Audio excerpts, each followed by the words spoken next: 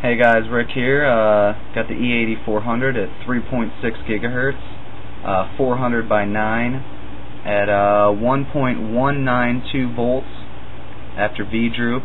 It's quite a bit higher than that than BIOS. I'll make a video.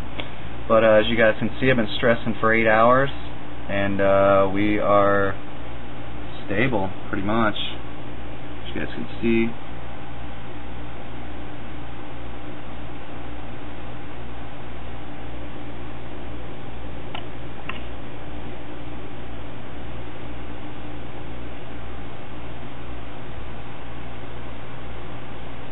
Uh, Core Zero, my sensor's stuck, so it reads the same all the time. Oh, wait a minute, it moved. Moved a little bit. Maybe it's becoming unstuck. Nice. But as you can see, let's run up here, show you guys the.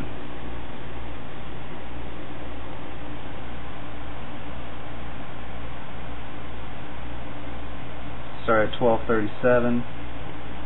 Now we're at uh, 2059.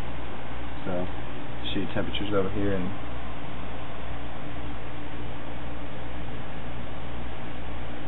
Forty-three Celsius. Here's our specs for everything down here. It's our RAM running one to one, 400 megahertz, 55515. Crucial Ballistix, uh, PC 6400, and uh, motherboard specs here.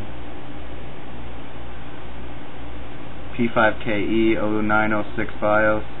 Probably going to flash the newer BIOS, see if I can get this V-droop under control, but doubt I will be able to. So, probably going to have to do a pencil mod or similar, see what happens. But, uh, thanks for watching, guys. Uh, next video will be the uh, either the BIOS settings to show you guys what I use and help you guys out, or um, uh, probably 3.7 gigahertz, which will be my next.